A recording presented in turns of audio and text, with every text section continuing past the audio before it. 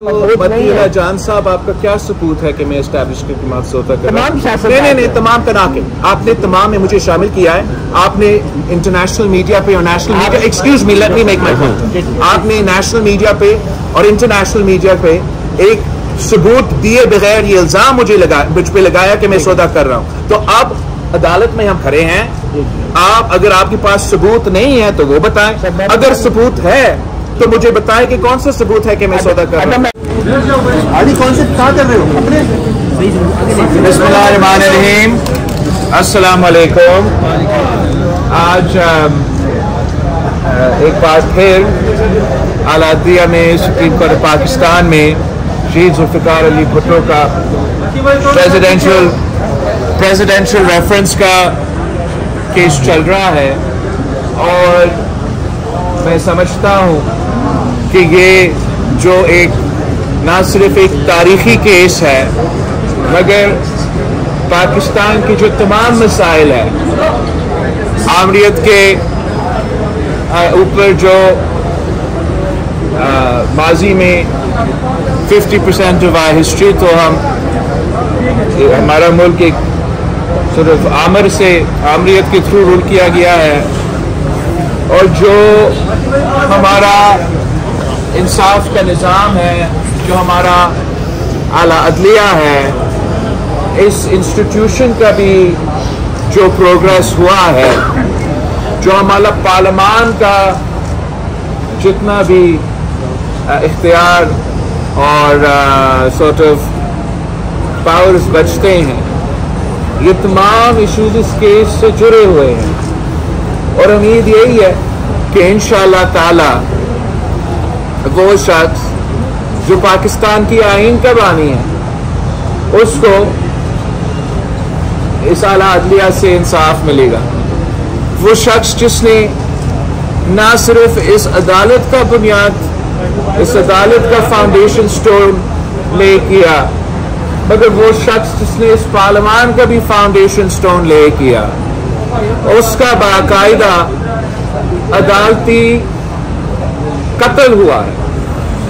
और जैसे आपको मालूम है कि मर्डर के लिए कोई स्टैच्यूट ऑफ़ लिमिटेशंस नहीं होता। अगर कोई कत्ल हुआ है तो आप ये नहीं कह सकते हो कि 10 साल गुजरे हैं 50 साल गुजरे हैं 100 साल गुजरे हैं तो ये अब पुरानी बात हुई है, इस पर बात नहीं हो सकती। ये पुरानी बात हुई है, इस पर इंसाफ नहीं दिलाया जा सकता। हम या तो एक प्रेसिडेंशियल रेफरेंस सुना जा रहा है तो जज साहिबान ये फैसले करेंगे कि क्या इस प्रेसिडेंशियल रेफरेंस के थ्रू के इस केस में क्या इंसाफ किया गया है? क्या शहीद जुल्फ़िकार अली भुट्टो का जो अदालती कत्ल था, जो आमरीत का दौर में हुआ था क्या ये एक सेफ़ और साउंड जजमेंट है? और अगर नहीं तो इसका रेमेडी क्या? और मेरा पूरा उम्मीद है इस इस आला अदलियत से कि वो इन ताला ज़रूर इंसाफ हमें देंगे। और जो दाद इस इदारा पे, इस फैसला की वजह वजह से मौजूद है उस दाग को भी धोएँगे। और जैसे चीफ जस्टिस साहब ने खुद कहा था आज कि जो दाग हमारे बाकी इदारों पे है किसी एक शख्स की फैसलों की वजह से तो इन इदारों से भी वो दाग धोने का एक आ, मौका हमें नज़र आ रहा है। तो उम्मीद ये है कि इस जुडिशल रेफरेंस के थ्रू सॉरी प्रेसिडेंशियल रेफरेंस के थ्रू कि कम अज कम तारीख दुरुस्त करने के लिए कम अज कम ताकि हम एक land in the sign draw कर land line in the sand draw कर सके कि जो माजी में हुआ है, वो ये है, गलत था। आगे जाके मुस्तकबिल, ताकि हम मुस्तकबिल की तरफ़ देख सके और हर कोई ये कह सके कि आगे जाके चाहे हमारा आला अदलिया हो या कोई और इदारा हो वो इस किस्म का संगीन जुर्म जो है, ये दोहराया नहीं जाएगा।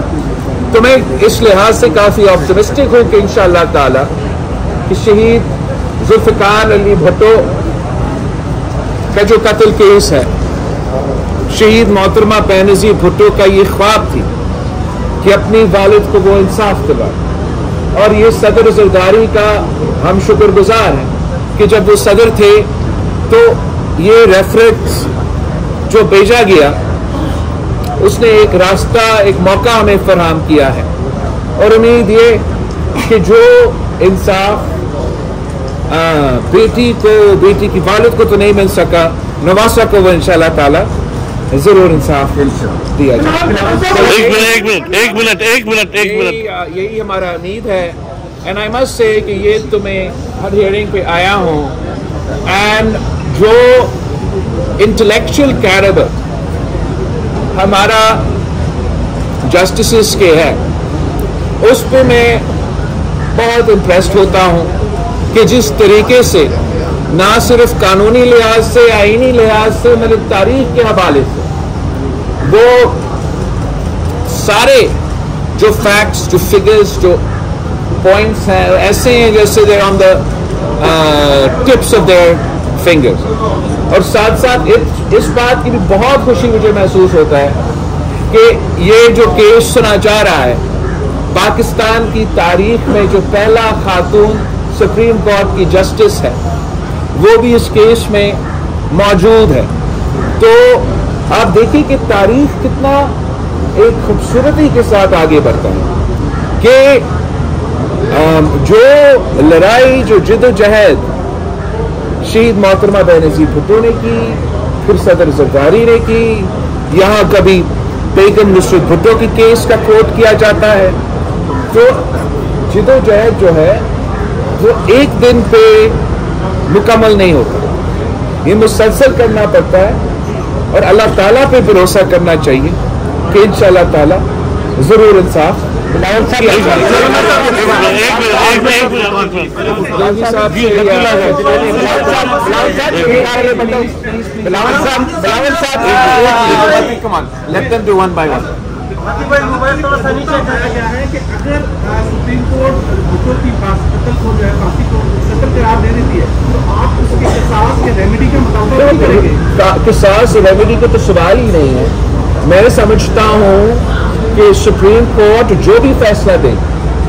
अगर आप इस बात मानते हो कि कत्ल का कोई स्टैट्यूट लिमिटेशंस नहीं है तो एक जो तरीका जो हम रेमेडी निकाल रहे हैं, वो तो जुडिशल रेफरेंस का जो मेरे नज़र में और मैं, मेरे नज़र में एक दूसरा एवेन्यू मौजूद है मेरे कि सुप्रीम कोर्ट का इस ओपिनियन का जो भी हो, ये फैसला दे या ना दे इस बात पे मेरा ख्याल में लीगल कम्युनिटी और अपने लॉयर्स गौर करना चाहिए कि अगर कत्ल का कोई स्टैट्यूट लिमिटेशंस नहीं है तो अगर मैं आज जाके एफ़ आई आर काटू कि कत्ल हुआ है सर सामने देखिएगा। और उस कत्ल में फला साहब फला साहब फला साहब कुछ ज़िंदा है कुछ नहीं लेकिन वो तमाम लोग इस कत्ल में मुलविस है। Then what's stopping the judiciary of Pakistan from pursuing the case of the murder of Shaykh Zulfikar Ali Bhutto?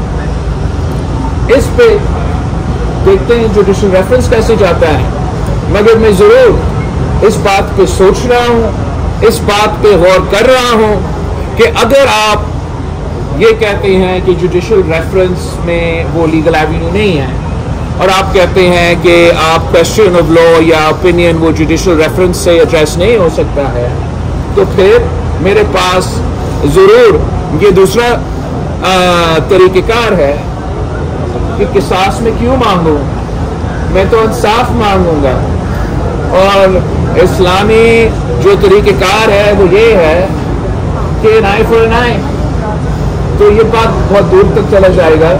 Preference तो ज़रूर हमारा ये है कि जुडिशल रेफरेंस से हम ना सिर्फ़ अपना तारीख को दुरुस्त करें, मगर जो जैसे चीफ जस्टिस साहब कह रहा था अदालत में कि जो पाकिस्तान की मुस्तबिल है, वो मुस्तबिल हम रोशन देखना चाहते हैं। उस मुस्तबिल में हम जमहूरियत को ताकतवर देखना चाहते हैं। उस मुस्तबिल में हम चाहते हैं कि हमारे इदारे चाहे वो हमारा सुप्रीम कोर्ट के दूसरे इदारे उन सबको इस किस्म की जो दाग है, इस किस्म की दाग ना लगे। तो वो एक जो ऑप्शन हम परस्यू कर रहे हैं, वो तो जुडिशल रेफरेंस का है। मगर जो साथ साथ मेरा ख्याल में अगैन मैं तो लॉयर नहीं हूँ, बदकिस्मती से। मगर मेरी नज़र में कि अगर हमारा खानदान एक कत्ल का एफ़ आई आर भी काटे तो वो कत्ल का एफ़ आई आर साउंड होगा और वो जो लीगल प्रोसेस है वो उस तरीके से भी एक्सप्लोर किया जा सकता है। तक कुंडी साहब आपकी तरफ़ नहीं भेजेगा? ये भी अगर मुझे तो मैं मजबूर होके आपकी तरफ़ मेरा नाम है। मैं ये सवाल करना चाह रहा हूँ आपने कहा कि शायद नवाज़ से लेकिन अभी भी हम देख रहे हैं कि तकरीबन पंद्रह साल के बाद ही बाद ये केस लगाए और अभी भी इलेक्शन से पहले लगा था आज लगाए। तो ऑप्टिमिस्टिक ऑप्शन आप क्या देख रहे हैं जिसकी वजह से मैं तो इम्पेशेंट नहीं हूँ। मैं बहुत पेशेंट हूँ। आई अंडरस्टैंड आपका जो पॉइंट है ये बड़ा वैलिड पॉइंट है कि अगर दूसरों के केसेस डिले नहीं तो हमारे क्यों? लेकिन अब डिले हो गया इलेक्शन गुजर गया। और uh, मैं चीफ जस्टिस साहब का और अदालत का शुक्रगुजार हूँ। कि ना सिर्फ़ ये केस सुन रहे हैं फिर अब इलेक्शन के बाद ये I don't know but one of the first cases, if not the first case, one of the first cases is this case that they're, they're listening to. तो इतना आपको स्पेस देना चाहिए बिलावल साहब बिलावल साहब बिलावल साहब बात यह है कि जुल्फकार अली भुट्टो शहीद की इतनी बड़ी कुर्बानी के बाद आज तो मुल्क में जमहूरियत होनी चाहिए थी मगर आज भी आप समेत तमाम सियासतदान उसी इस्टेब्लिशमेंट के साथ समझौते करते हैं हुकूमत में आने के लिए क्या आज इस्टेब्लिशमेंट मज़बूत नहीं है? जान साहब आपका क्या सबूत है कि मैं एस्टैब्लिशमेंट की कर तमाम नहीं तमाम करा के आपने तमाम में मुझे शामिल किया है। आपने इंटरनेशनल मीडिया पे और national media excuse me let me make my point आपने नेशनल मीडिया पे और इंटरनेशनल मीडिया पे एक सबूत दिए बगैर ये इल्ज़ाम मुझे लगा मुझ पे लगाया कि मैं सौदा कर रहा हूँ। तो अब अदालत में हम खड़े हैं। आप अगर आपके पास सबूत नहीं है तो वो बताएँ। अगर सबूत है तो मुझे बताएँ कि कौन सा सबूत है कि मैं सौदा कर रहा अदम हूँ। हूँ। क्या सबूत है? हैं। हैं हैं। सबूत मैंने किसी चीज़ पे सौदा किया है। आई एम सॉरी नहीं नहीं नहीं आपने आपने आपने मुझे मेरे नहीं नहीं नहीं नहीं मती। ऐसे ही नहीं चलता। ऐसे ही नहीं चलते। जब आप जर्नलिज्म करते हो तो आपको जर्नलिस्ट जर्नलिज्म के भी इस लोगों को पे खड़े होना चाहिए। अगर कोई मौलाना या कोई और कोई बात करता है तो आप उनसे पूछें। मेरे ऊपर इल्ज़ाम लगाने से पहले आप वो सबूत पेश करें कि अगर मेरा मुलाकात हुआ भी सही तो क्या उस मुलाकात में मैं जमहूरियत और आइन का बात कर रहा था या मैं अपने आप का बात कर रहा? था सर सर वो आपके ऊपर है या मेरे ऊपर है वो दूसरा सवाल है ना बस सौदा उसका सब, नहीं बनता है। तो आप अगर ये इल्ज़ाम लगा रहे हो तो आप बड़े मेहरबानी सबूत लेकर आए। वर्जा आपसे ये उम्मीद नहीं था कि आप बगैर किसी सबूत के साथ मेरे ऊपर कोई इल्ज़ाम लगा। बिलावल साहब मुदस्सिर हुसैन मैं खैबर टीवी से क्वेश्चन आपसे ये है वाल यू आर कैंपेनिंग आप मुसलसल नून लीग के खिलाफ बोल रहे थे। गवर्नमेंट साजी का मरहला है and you are likely to support them don't you think कि ये जो मौकफ में तजाद है ये इनजस्टिस है वोटर्स के साथ? मैं समझता हूँ कि जो जहाँ तक मेरा कैंपेन की बात है आ, मैं अपने कैंपेन के मुताबिक तो चल रहा हूँ। और आ, अगर मैं इलेक्शन जीत जाता और मैं सिंगल लार्जेस्ट पार्टी होता तो अभी आपको भी कह सकता था और आपको भी कह सकता था कि ये मेरा मैंडेट है, किसी और का नहीं है।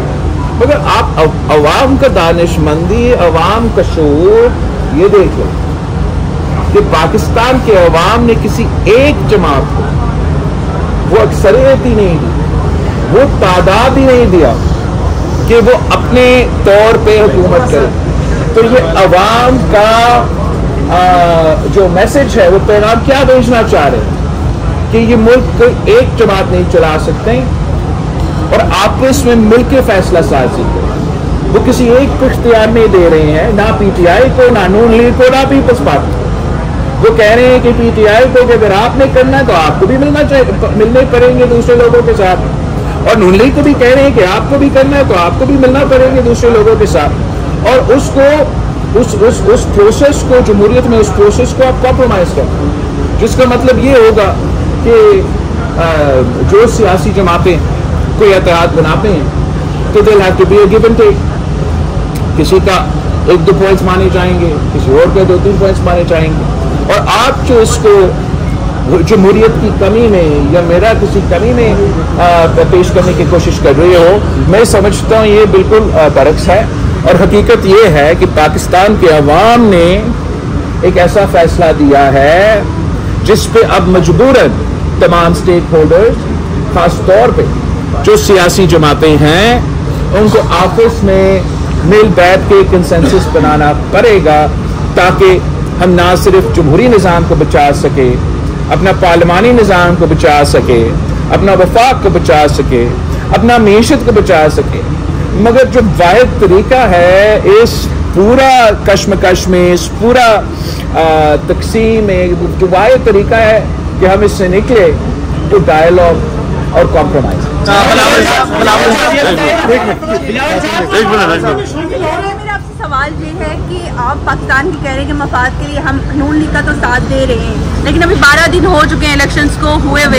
लेकिन अभी तक हुकूमत साजी का बहला कंप्लीट नहीं होता आप क्या समझते कौन सी ऐसी रुकावट है अभी तक जो इस चीज़ में मुश्किल बहुत बहुत बहुत अच्छी सवाल है। और यही हम उम्मीद रखते हैं खासतौर पर फीमेल जो रिपोर्टर्स है कि वो मर्दों से तो बेहतर ही परफॉर्म करते हैं। अब आपकी सवाल बहुत अग्री है। इसके दो कंपोनेंट्स हैं। क्या बिल्कुल सही कह रहे हैं कि 10 दिन हो चुके हैं और जो हम पाकिस्तान में, या 11-12 दिन से और जो पाकिस्तान का पॉलिटिकल स्टेबिलिटी पे सवाल उठ रहे हैं लिजिटमेसी इलेक्शन प्रोसेस पे सवाल उठ रहे हैं, और जितना जल्दी हुकूमत साजी का अमल मुकम्मल हो जाता, उतना ही बेहतर। जहाँ तक पीटीआई की सवाल है, ये तो एक बहुत मज़े की बात है। कि वो तो टेक्निकली तो सबसे सिंगल लार्जेस्ट तो वो है, मगर वो कहते हैं कि हम किसी से बात नहीं करेंगे।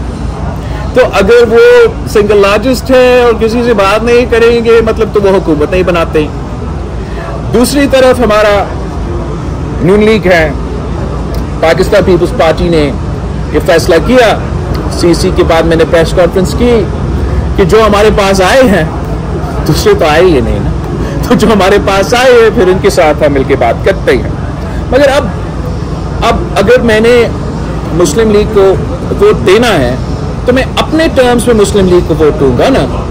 मैं नून लीग के टर्म नून लीग के टर्म्स पे आके नून लीग को वोट कैसे दे?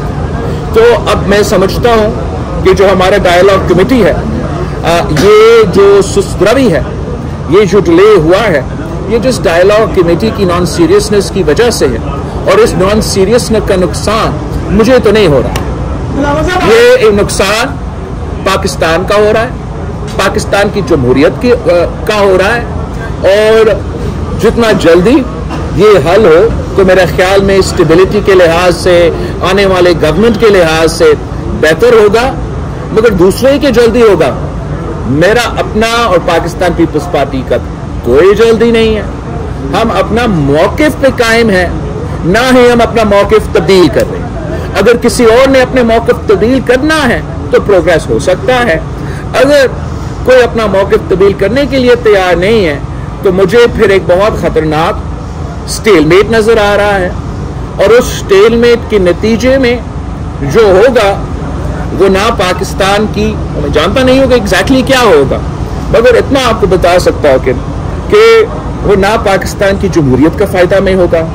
ना पाकिस्तान की मीशत का फ़ायदा में होगा, ना पाकिस्तान की वफाक का फ़ायदा में होगा, और ना हमारा पॉलिटिकल स्टेबिलिटी का फ़ायदा में होगा। जावेद जावेद जावेद हो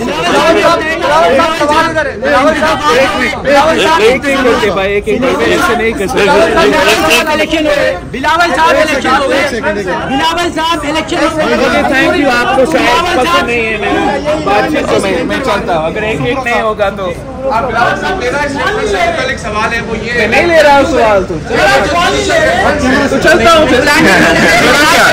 तो हो मेरा चाहते हो प्रेस कॉन्फ्रेंस तो एक एक करके पूछे। वरना मैंने ये केस सुनाया मैं चाहता हूँ। रेफरेंस जो है वो एडवाइजरी जुरिस्डिक्शन में सुप्रीम कोर्ट में आया था। अगर इस एडवाइजरी जुरिस्डिक्शन को यूज़ करते हुए सुप्रीम कोर्ट वापस अपनी एडवाइस सदर के पास भेजती है तो आप मौजूदा सदर से कोई अच्छाई की उम्मीद रखते हैं? जहाँ तक मैं I don't see this happening ये सुप्रीम कोर्ट क्यों भेजेगा वापस क्यों भेजेगा वापस वापस मेरा नहीं ख्याल में कि वापस जाएगा। जहाँ तक इस सदर से क्या उम्मीद रखता हूँ मैं समझता हूँ कि अब इस स्टेज पे जो सदर साहब अब कोई ऐसा फैसला नहीं देगा जिससे मैं नाराज़ हूँ। सर दोबारा इलेक्शन दोबारा इलेक्शन थैंक यू दोबारा क्या? दोबारा इलेक्शन चाहेंगे आप सर? मार्शल आर्ट से बेहतर है कि नहीं? अगर इलेक्शंस होते लेकिन या वो इलेक्शंस होते भी है या नहीं वो सवाल है। फिर अगर वो इलेक्शंस होते हैं कोई मानेगा? उससे कोई मैं हल नहीं देखता उसका। माशाल्लाह हुआ तो क्या करेंगे? दमा दमस का